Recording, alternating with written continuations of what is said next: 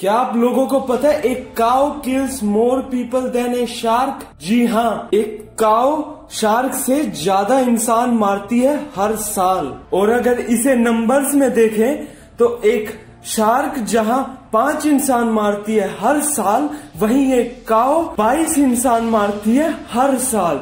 मतलब शार्क से चार गुना से भी ज़्यादा इंसान मारती है हर साल। मगर यहाँ इंसान शार्क से भी ज़्यादा खतरनाक है।